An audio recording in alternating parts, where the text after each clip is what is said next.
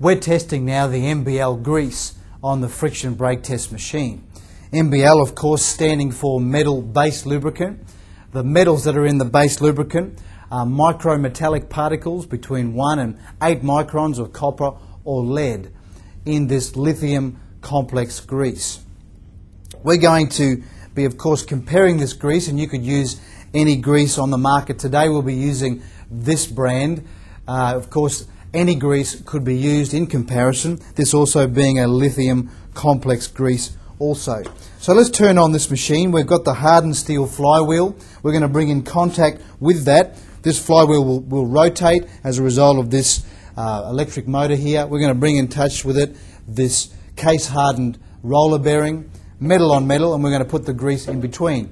Of course, our torque wrench will show us how much pressure we're applying to those two metal surfaces, and then we have our amp meter here to show how much power we're drawing to keep that flywheel turning. I'm going to apply a fairly generous amount of grease to this flywheel, and by just turning that on, you'll notice there's a very generous amount on that surface. We'll apply a little bit there also. Wipe the residue off.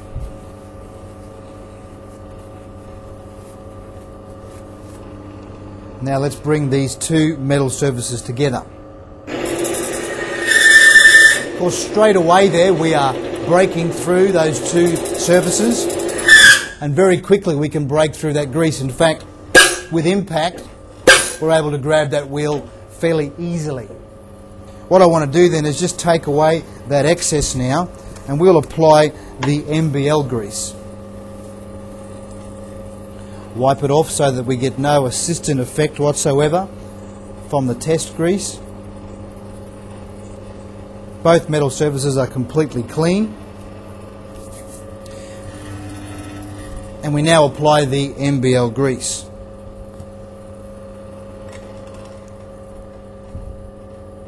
Just a small amount really, we're using this application spatula to be able to show just how little you really do need in terms of this grease. We bring these two metal surfaces together.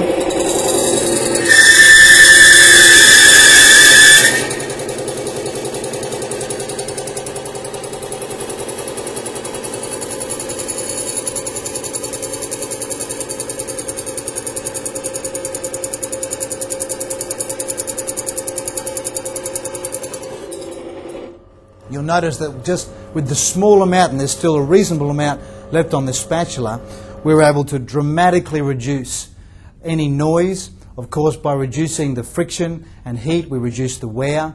You'll notice that hardly any power was necessary to draw this from this motor for that flywheel to continue to spin, and the grease, of course, has outperformed in every way.